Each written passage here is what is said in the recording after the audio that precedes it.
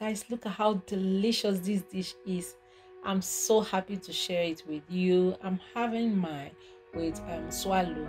You can enjoy it with rice, plantain, or even boiled yam. Now, before we continue, let's go to my lovely intro.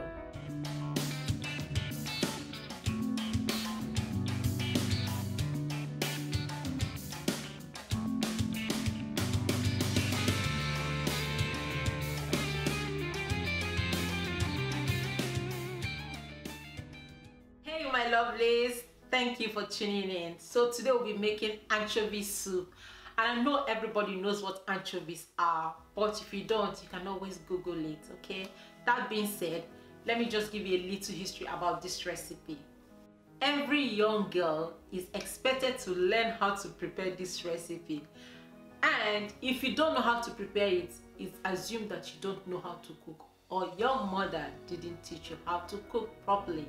So if you can prepare this dish, then you can cook. Now let's get to it.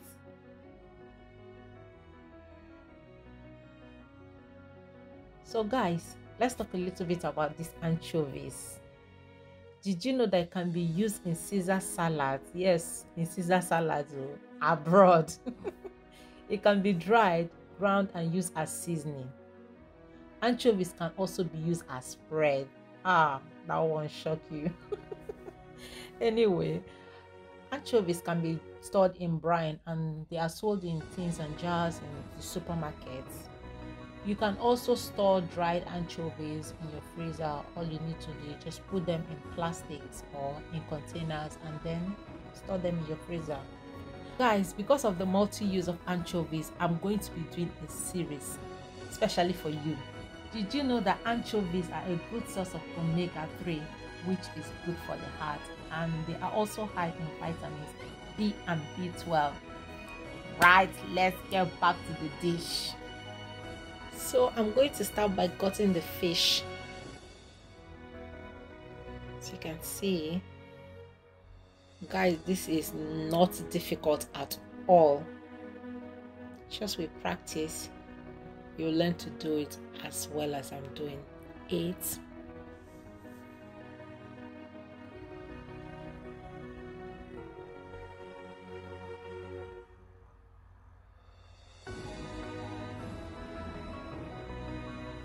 So I'll be doing this until I finish cutting them up. Then I start washing the fish. You just need to be gentle when you're doing this because they're very delicate. So I'm going to be washing for about three to four times until the water is clean enough.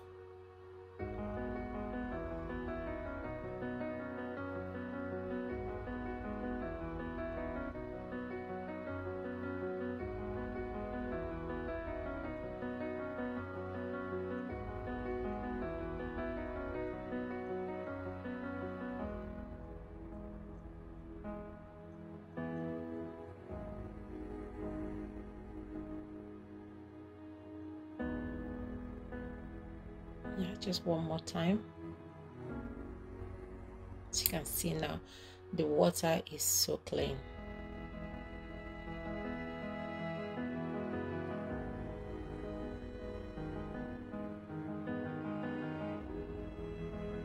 And that's it with the cleaning. So over here i've got some scotch bonnets onion prawns. You can also use periwinkles palm oil, scent leaves, stock cubes, uda spice, and of course salt to taste. So I'm blending the pepper and the onion together. Just roughly blend because I want it to have a little bit of texture.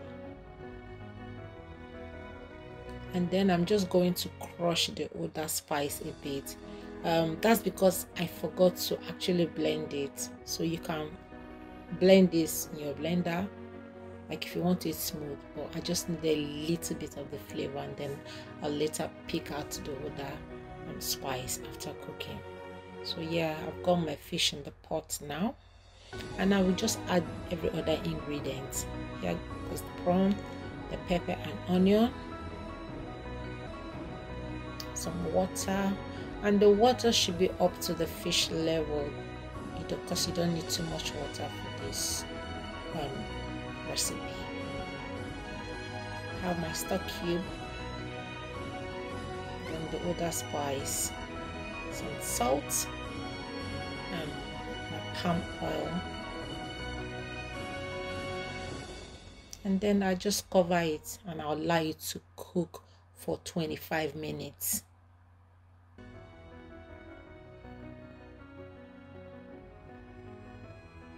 and after 25 minutes I turn down the heat and allow it to cook for another 15 minutes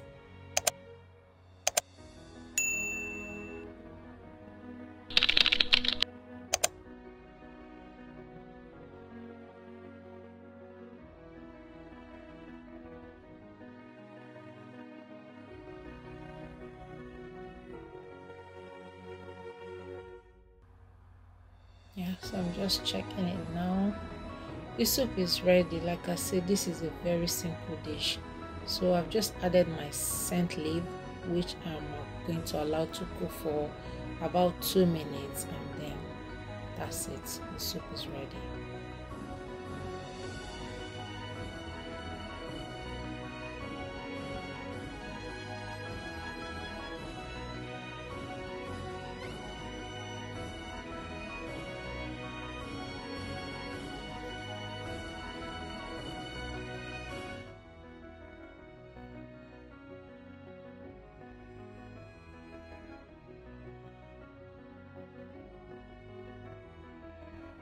so i'm actually having mine with aubergine swallow which is eggplant swallow. But like i said you can always use any swallow of your choice.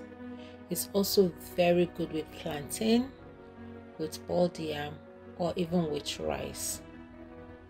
Guys try out this recipe and let me know your thoughts in the comment section. Thank you so much for watching and please remember to subscribe if you haven't already done so. Give this video a like and also share it with your loved ones. And thank you so much for your continuous support.